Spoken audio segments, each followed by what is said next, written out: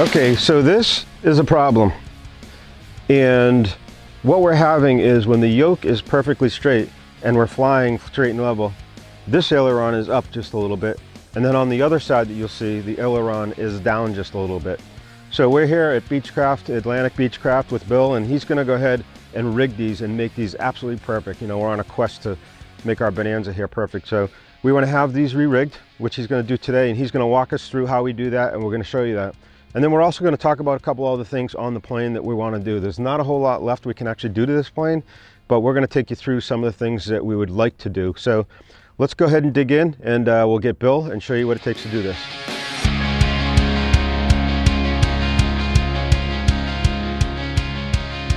straight. And then when yoke straight, one of these is down like about that, and then the other one is up just a hair, just like that. Like I can see right here that it's down a little bit, Okay. and then on the other side, so that one's even on the other side right now. This side is down. But if you split them and the yoke is perfectly straight, one's down a little, one's up a little. Can you show me in the yoke? Put it, the yoke where it Sure. is while you're flying. So now with the yokes even, the, f- the airplane is flying straight and level. Yep, where the aileron, see how down that one is? Yeah. That one's closer, closer to even. Right. So most likely what's going to happen is, is if I go and straighten this out and even it up with that, um, the airplane's going to fly uh, to the right. So we might have to compensate that by lowering this flap. Check the rigging on the ailerons, see if they are correct as Okay. proper travel, and then we'll, if they need to be corrected, we will correct that. Okay, and how do we check that? How do you do, what's the process? protractor we're going to put on the aileron and check the travel up and down. It should be 20 up and 20 down, plus or minus two. Okay, and that'll tell you if it's If it's in rig. going Now travel. with the wheels level, this should be even with the trailing edge. Okay, You see it's actually lower lower than the flap also. yeah, so the, the yoke straight and this flap is down and the other one's barely up a little bit. So even this one, even your trim tab is pushing it down too. The trim tab should be straight. So this will be straight and this will be straight if we get it rigged right. Right, and then when you go and fly, you're going to see if it uh, rolls one way or the other. And most likely it's going to roll to the right. Okay, So that at that point we'd have to see how we want to adjust that or correct that. okay. Uh, But ultimately we want all this straight. this needs to be straightened out, correct? Okay, All right. all right, great. Both uh, bell crank stops, and they are hitting the stops. So I'm just going to adjust this aileron right now for neutral when the control wheel's in neutral. Okay. All right, we're going to do that by. What if they weren't hitting the stops? Well, if they weren't hitting the stops, then we would see uh, what's causing that. It's uh, the bell cranks could be out of rig of each other, and uh, you have internal stops in the in the cockpit uh, should not be hitting before it hits the stops out here in the wing. Okay, So these stops should be hitting first before it hits them there. And the way that the uh, the cables and the bell cranks are all in rig. So now we're going to check and adjust this aileron here to make it in neutral when the uh, control wheels are in neutral. And we Okay, great. By loosening this jam nut here. And we're going to loosen the jam nut underneath here. And then we're going to turn that rod. Okay, now we're gonna raise this. All right, let's see what we got. And we gotta go a little bit more.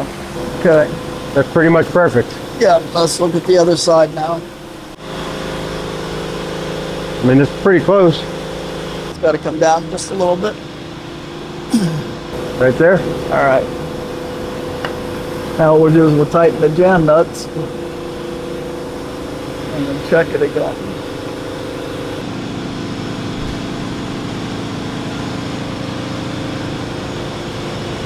All right, so that's the aileron. The trim, I'm gonna have to get the uh, tools to straighten this out.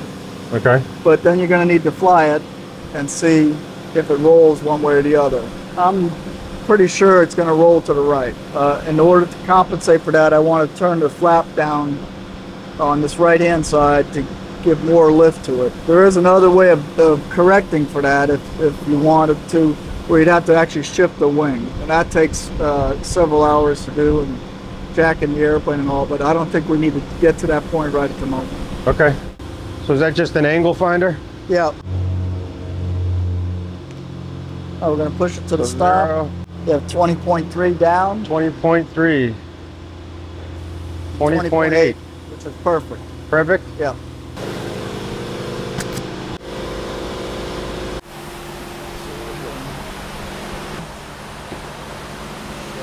Twenty point one and twenty one six.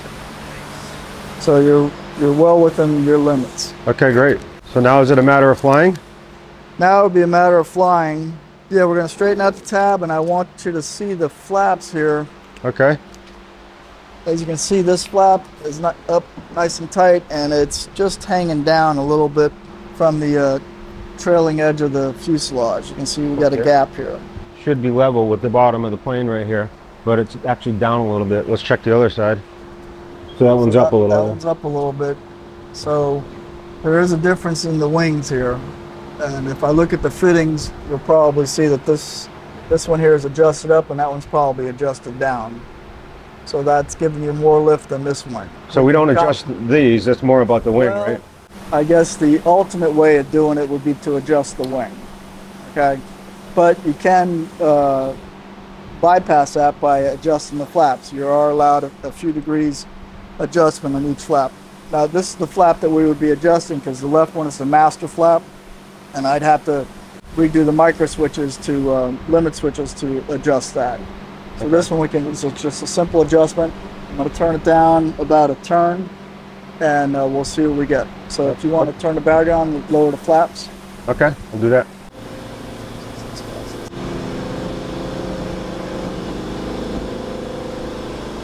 Everything looks good, nice and clean.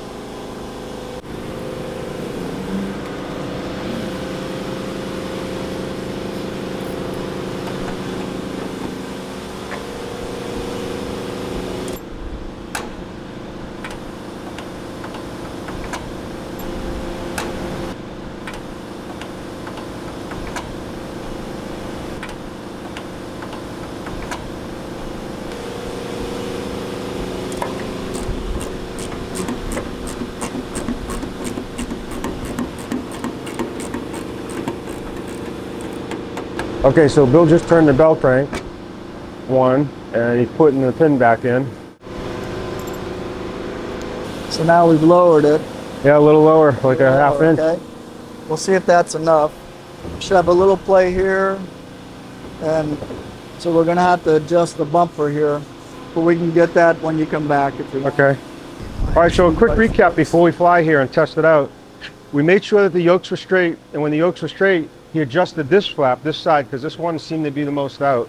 He adjusted this so it's perfectly flat to the yokes, and then the other side is pretty much straight. So now we've kind of got the two flaps straight with the yoke straight, but he's afraid that when we make that adjustment, because the plane was flying straight and level with it the way it was, that it might now actually, with these adjusted, it might be right a left wing high.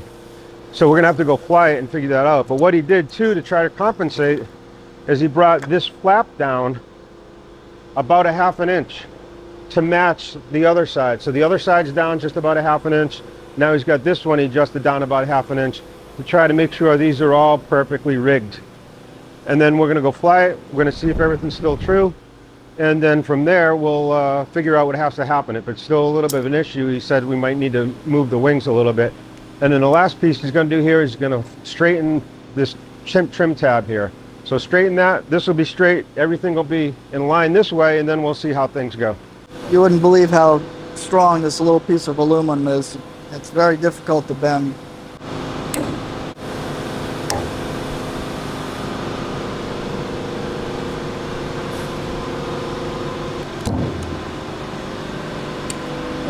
That's a little bit straighter than it was, but like I said, those are very difficult to bend. So we brought this down a little bit more. Yeah. Yep. Great. So just going to put the covers on it, the panels. We'll get up and we'll test it, see how it is. All right, so Bill, we did all the rigging, what we could do for now. So what do you want me to do when I get up there? Well, get up there, set up for cruise, and uh, see if the airplane rolls one way or the other.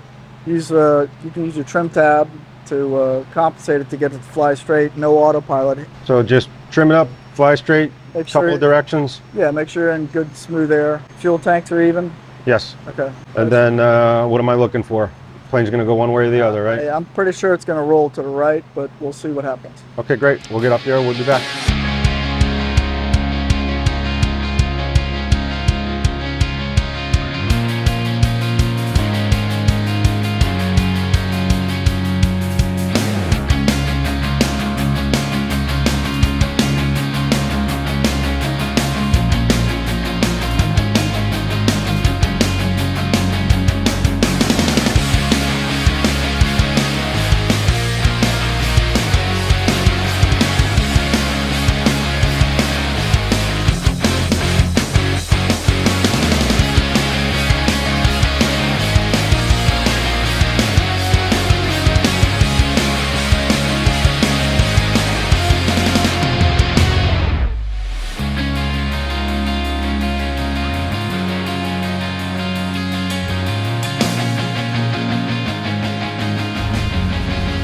Okay, so we got our test flight in. So it's exactly what you said, Bill. So before we could fly, the yoke is straight and the plane would fly. Straight. Now we have to pull the yoke over just a little bit to the left to fly straight. As soon as we straighten the yoke, the plane starts to slowly Okay. go to the right. Yeah, see the yoke's a little bit to the left, so it's flying straight. As soon as we straighten the yoke just a little bit, they get straight, plane start, starts to, to bank. All right, let me make another adjustment on the flap, and I'll adjust the bumper this time. Okay, so what are we gonna adjust? The flap. It's gonna go down? Yeah, we're going to go down another half turn. Okay, and see if that gets it. If we have room. If we don't have room, then it's going to be more rigging as far as we we would mess with the micro switches over there. Let's see okay. if I have enough room. So basically we're pulling this pin, giving another crank on the bell crank, and then putting the pin back in. Yep. All right, awesome. So while Bill's working on that, um, you're getting to see some of the journey of the little things we're trying to do to the Bonanza. We're trying to make it as perfect as we can. As you can see, we want the rigging to be perfect, everything to be perfect. You've already seen some of the videos on the panel. You know, there's not a whole lot more that we can do to this plane. We want to do some more stuff. I'd love for somebody to tell me if we can get tip tanks for the B36 TC. I know you get them for the A36 TC, you know, D'Shannon has them. Um, I can't find anything for this plane. And some of you might say, well, why? The B has more fuel. You know, we have 104 gallons in this plane versus, you know, the 80-ish gallons, 84 in the other planes. So why would you need it? Well, I also want that extra useful weight that those tip tanks uh, can get us. So want to do that. And maybe the last thing we could do, we have all Garmin panels, and I think we want to maybe just upgrade the uh, autopilot to the G500. Now, right now, the autopilot we have in here, the King, the latest King, it's excellent, integrated, and it works great. I would just like to have the whole panel Garmin. Right now, we have TXIs in there, so the 500 TXI large screen, 500 TXI small screen, two 750 side by side. Love this setup. Been one of my favorite panels out of all how many planes that we've had. But uh, maybe the last thing in this is doing uh, the autopilot. But other than that, we've got everything else in it. You know, baffle kits, GAMI injectors.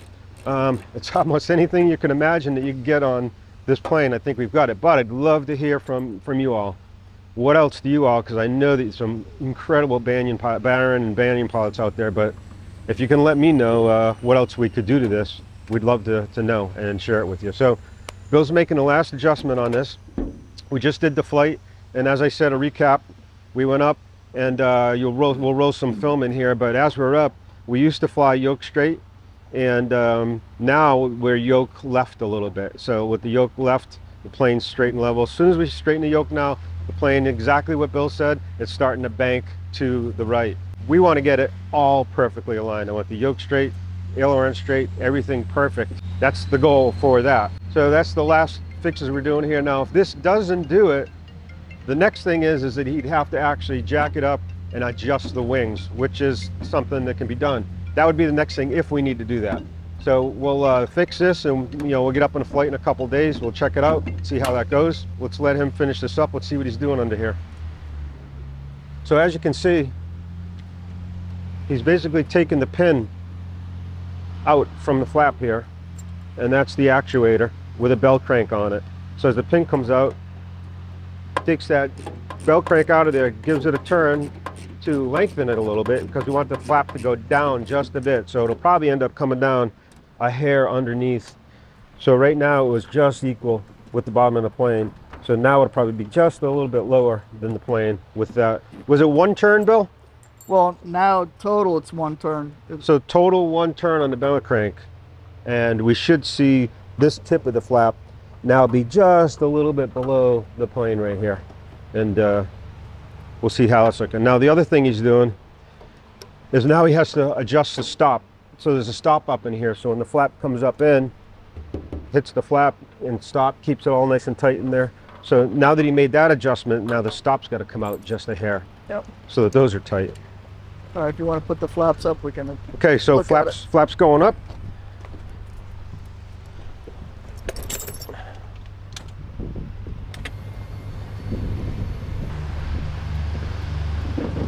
Okay. So now we're about a quarter inch below, right? Yeah, we're almost equal to the other side. So the both flaps are equal down. Where should they normally be, Bill? Should they both be equal at the bottom of the plane? Normally they should be flush with the bottom of the fuselage. So we're, we're in tolerance to be able to make these adjustments to Correct. get that flying. Yeah, they really don't have an, a, a, tolerance for it. So bringing this down is Yeah. going to give a little bit more resistance on the bottom to try to get it to fly a little more more, straight. more lift on the side. All right, everybody. So you got to see that tweak. We'll get you up on another video to show you how to do that. But Bill's been taking care of you guys. Atlantic Beechcraft. You're if you're in the East Coast anywhere, you got to come see Bill. He's one of the premier Beechcraft facilities. But he's been taking care of this plane, doing the annuals, doing all kinds of tweaks and stuff for us. I'm hoping we're going to be doing some more projects, but there's not much more we can do to this plane. No, so it's in good shape. we're trying to find tip tanks, but we can't for the B. We're having a hard time there Okay. maybe Garmin Autopilot. So we're just kind of thinking out what else we can do to this plane. But um, but anyway, till next time, everybody, we're gonna put all Bill's information below in the video. So Atlantic Beechcraft, make sure you check Bill out, and uh, we'll see you on the next one, and we'll show you how this worked out. Take care.